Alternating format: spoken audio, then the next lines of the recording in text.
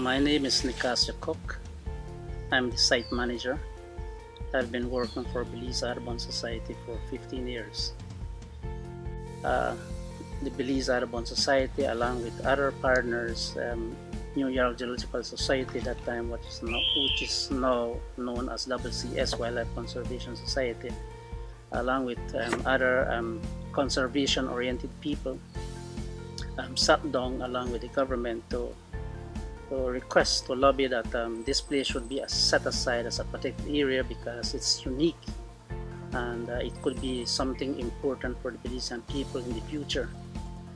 Um, but because um, conservation is a new concept, um, they didn't understand the reason really why they should set it aside as a protected area because there was a community that we're trying to establish in this area here. Uh, they wanted to live here, they wanted to do their livelihood because the forest is so rich with wildlife. Um, the soil was so fertile, the river was close by, and therefore this, they saw that you know they can do their livelihood here and establish a little community. But nevertheless, um, in 1984, uh, the research ended and uh, so they started to lo lobby with the government uh, for this area to be given a protection status.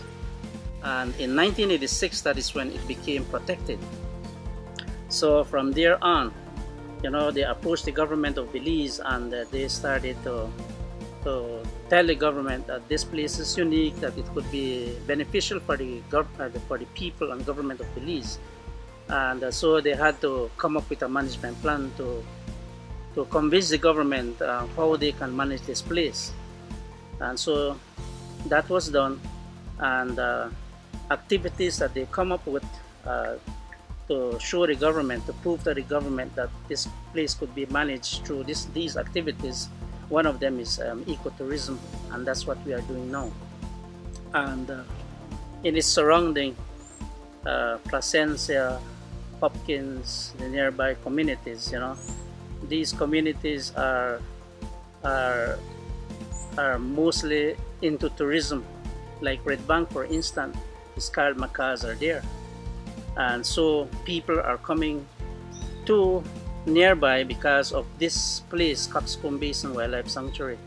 Um, we have seen a lot of tapir so we do have a healthy population of um, wildlife in Cockscomb and uh, besides wildlife we also have uh, natural sceneries um, attractions like the waterfall you know. So when someone come to Cockscomb you know they can go to, uh, hike to the waterfall enjoy swimming there enjoy the view.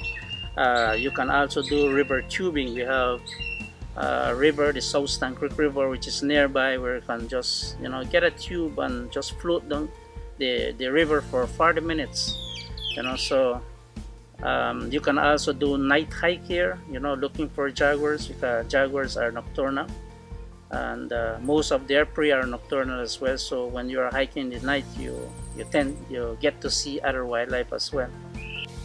Uh, Cockscomb is a place where I think one should visit and uh, you will never know what you are going to see there. You know, there are so many things to, to exciting things to, to see.